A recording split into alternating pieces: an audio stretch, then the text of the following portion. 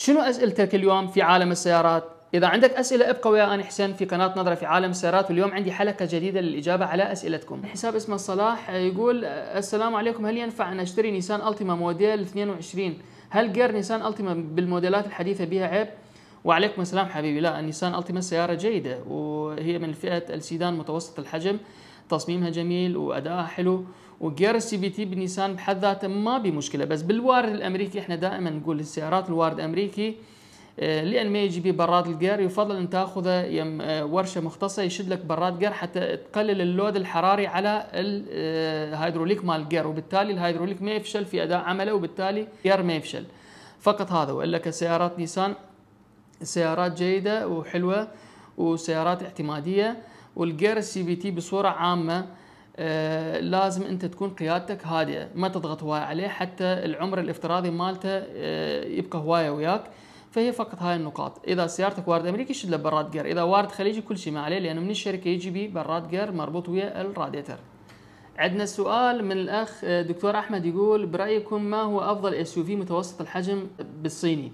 شانجان سي إس 95 وهافال إتش 9 وإم جي آر إكس 8 وجي إي سي جي إس 8 وتشيري تيجو 8 برو ماكس okay حبيبي دكتور أحمد بالنسبة للسيارات ال crossover المتوسط الحجم اللي ذكرتن مثلا عندك الهافال الإتش 9 والإم جي آر إكس 8 هذني يعتبرن SUV لأن هذني body on frame يعني السيارة عندها شاصي.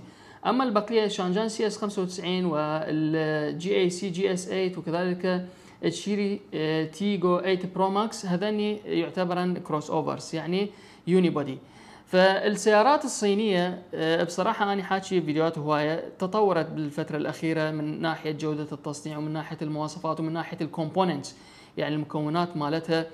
فأنت أني هم أعيد هالنقطة. السيارة الصينية اللي تشتريها شوف قوة الوكيل مالتها. بس أني كتجربة شخصية يعني جربت الجي اي سي جي اس 8 بقت يمي أكثر من يوم وطلعت بها خارج المدينة واستعملتها داخل المدينة بسيارة آه، بصراحة السيارة ممتازة السيارة بالمختصر المفيد أقول لك تأتي بتقنيات تويوتا مع إضافة لمسة فخامة وجمالية بالتصميم.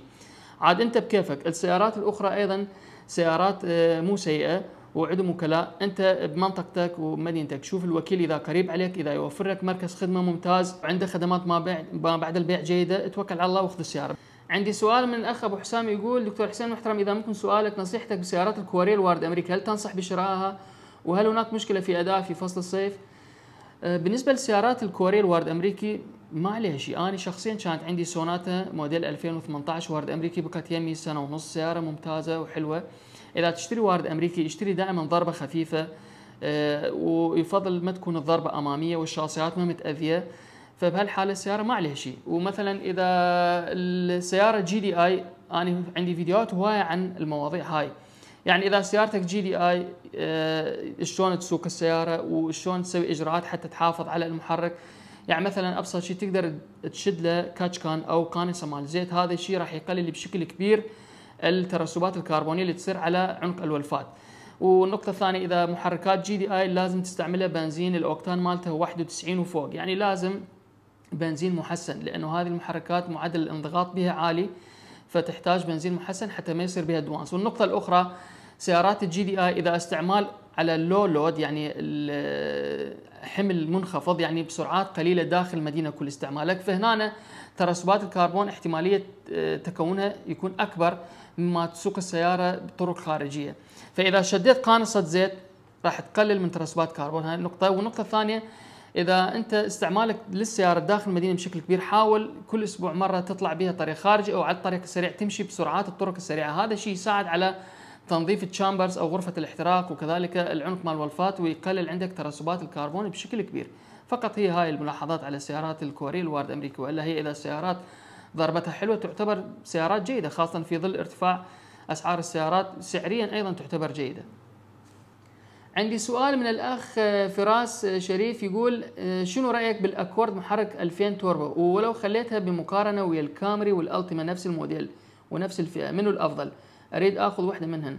وأريد رأيك بكل جوانب السيارة. قراري حيكون بناء على رأيك. أرحب بك أخ فراس. طبعا الهوندا اكورد سيارة ممتازة. وإذا تريد رأيي بسيارات هوندا سيارات هوندا تعتبر سيارات يابانية ممتازة. أنا أخلي الهوندا بالياباني بمقام ال BMW بالألماني. يعني بصراحة سيارات هوندا بها متعة قيادة سيارات مبنية بشكل ممتاز. لكن أنت إذا ساكن بالعراق آه، فاتصور الهوندا شوية راح تكون عندك شحة في قطع الغيار إحنا عندنا سيارات هوندا مو بكل مكان تتوفر قطع غيارها فعندنا هاي النقطة السلبية الوحيدة لهذه السيارات. يعني مو عيب بالسيارة وإنما السوق هي ما بها قطع غيار هواي لهاي السيارة. فإذا أخذت سيارة هوندا راح تتعذب قطع غيار فهنا أنت إذا بالعراق الألتيما والكامري تتفوق على الهوندا لأنه قطع غيارهن أكثر وال service مالهن متوفر بشكل أكبر.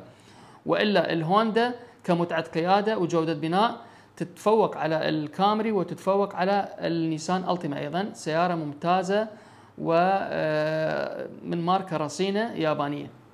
عندي سؤال من الأخ أحمد الحسن يقول شنو رأيك بسياره المازدا CX 9 لاحظت إنه سعره منخفض جدا آه، كوارد أمريكي في العراق نظر نظرا لعدم رغبة الناس آه، بها. طبعا المازدا هي أيضا من السيارات اليابانية الممتازة أيضا تقدم لك متعة قيادة لكنه أكو سبب إنه ناس ما ترغبها. أيضا بسبب قطع الغيار. السيارة لما ما تكون منتشرة وما لها مراكز صيانة وما لها وكالة آه، تسندها تسند الماركة وما ماكو قطع غيار متوفر لها بالسوق. فهنا أنت كمستخدم تتجنب هالسيارة خاصة هاي السيارات سيارات ال daily commuter. يعني السيارة ال daily commuter أو الاستعمال اليومي أنت تريد سيارة تخدمك. يعني آه، لما يكون بها عطل تكون بسيط وتكون قطع قطع غيار متوفرة ما تتعذب وراها لأن أنت ماخذ هالسيارة حتى تقضي بها مشاويرك اليومية وتقضي بها أعمالك. آه، تختلف عن سيارة أخرى. أكو ناس مثلا عندها إمكانية آه، مالية يروح ياخذ سيارة فقط حتى يستمتع بها مثلا يروح ياخذ سيارة رياضية غريبة حتى لو ما لها قطع غيار هو ما محتاج السياره للاستخدام اليومي. عنده غير سيارات يستخدمها استخدام يومي. ياخذ هاي السيارة فقط لمتعة القيادة. حتى لو يطلب قطع غيار من الإمارات أو من أمريكا ما عنده مشكلة. آه هذا شخص عنده إمكانية. ويقدر ياخذ هالسيارة ويقدر يصرف عليها. بس أنت إذا تاخذ سيارة daily commuter وتعذبك هيك ما تفيد ابدا. فدائما أخذ سيارة قطع غيار متوفرة بالسوق وإلها فنيين وإلها مراكز خدمة أو على الأقل إلها وكيل جيد يدعمها. فبالحاله كسيارة daily commuter أنصح بها. أما المازدا ال CX 9 هي كسيارة سيارة يابانية ممتازة لكنه اللي يعيبها فقط قطع الغيار ما منتشرة بكل مكان.